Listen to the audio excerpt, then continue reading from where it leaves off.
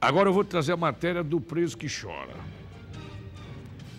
Mas ele chora porque ele está arrependido, estava foragido, mas estava trabalhando. Não estou defendendo o cara, mas ele estava trabalhando. E um outro que é foragido porque o bicho é ladrão. E o problema, ele rouba no bairro dele. Aí os caras pegam ele dá um mais de cacete, os próprios amigos. Detalhe, ele tem uma bolsa na barriga de colostomia. É? E ele tem um sorriso bonito danado, é o pimpolho. Os dentes chega brilham, coloca no ar. Olha, a Rocan é mais um trabalho de rotina, né? Sempre, sempre andando pelas ruas de Natal. Conseguiu encontrar, aliás, recapturar. Encontrou, recapturou dois foragidos da justiça, um dele bastante conhecido, que é o Pimpolho.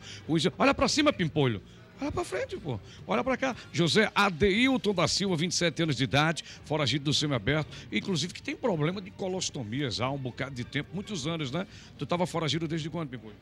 Ah, não sei não, dizer não sei como te dizer, não. Você estava fazendo o que na favela do Detran? Eu sou viciado. Por que, que a galera lá tem raiva de você? Porque eu sou ladrão, eu sou ladrão, eu sou menor de 55. Pô, tem raiva, não pode ter raiva depois que eu roubo num bairro. E por que tu não vai roubar no outro bairro, sem seu Deus? Eu roubo na Cidade da Esperança. Mas a galera fica doida quando vê você quer dar um monte de cacete, mesmo você doente do jeito que você é população quer me pegar, a população, não é os bichos não, a população quer me pegar, a população aí quer me derrubar. E pra que, que você não para de roubar? Só que sabe a Deus. Você é viciado desde quando? Desde 15 anos. Tá com 27 hoje? É, 27 anos hoje. E mesmo com essa bolsa. Levanta um pouquinho, levanta, levanta só pra gente ver. Mesmo com essa bolsa de colostomia. Tá bom, só pra ver aqui. Mesmo com essa bolsa, isso foi o quê? Foi um tiro ou foi faca? Foi o quê? Uma facada aí, uma covardia, pegou uma covardia aí, um safado aí, pegou uma covardia. E o Tiago Alexandre, Tiago Alexandre de Souza, 25 anos de idade. Foragido também, né, Tiago? Tiago conversou com a gente, agora tá botando o pano na cabeça. Pra quê, Tiago? Porque, né, pagar aí, recuperar o tempo perdido aí, que minha filha tá pra nascer aí, ó. A é, filha tá pra nascer? É, meu filho aí, vacilei de novo aí. mas dá certo aí, pagar aí, criar meus filhos. Qual é o artigo que você puxa? no 55. Qual foi o último roubo que você fez, o furto? Qual foi aonde? Foi é, por aqui em Neópolis. E agora, depois que você está fora da cadeia, fora giro, que você engravidou a mulher? Quantos meses a sua esposa? Nove meses, três dias. Quem vai nascer? Certeza. É um presentão danado. O dia dos pais, domingo agora, e você já voltando para cadeia. Verdade. Deixa eu pedir uma coisa a você. Tira, tira, o boné da cara. Vamos conversar nós dois aqui, peraí. Vamos conversar agora de ombro Olha para mim. Vamos conversar. Quanto é que você faturava no Ceasa trabalhando, ajudando a descarregar caminhão? Quando dava meu Deus, já tava com 50 reais, 60. 50, 60. Vai 50 conto todo dia durante 10 dias dá 500. Verdade. Salário de 680. Então você com salário de 1.500 conto, vamos supor.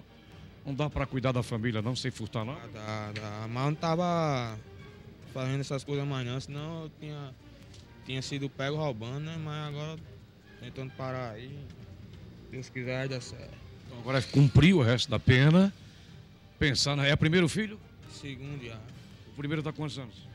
Tá com um ano e. Dois anos, dois anos completou agora. Já nasce outro agora e tu preso.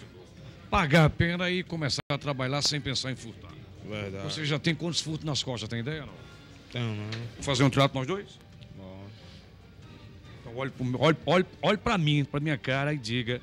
Olhe pra minha cara e diga que quando você sair da cadeia, você vai cuidar de seus filhos e não vai mais furtar. Quando eu prometo pra minha mulher e pra minhas filhas, quando eu sair, eu vou trabalhar o dobro pra criar vocês, meu filho. Com certeza. Tiago, eu vou acreditar em você sim. Você prometeu para mim, diante das câmeras, prometeu sem, sem câmera, que você, quando sair, vai cumprir, não vai fugir e vai procurar o um emprego, mesmo que no Ceasa de novo, descarregando caminhão. 50 pau por dia, né? não é um mau, mal, mal, mal, um, um, mau salário, não. Vai dar em torno de 1.500, 1.300 conto por mês. É melhor do que tá furtando, é melhor do que tá na cadeia. Não tem canto nenhum onde fazer xixi, pô. Então, cuidar dos teus meninos, é melhor que tu faz. Eu vou confiar em tu.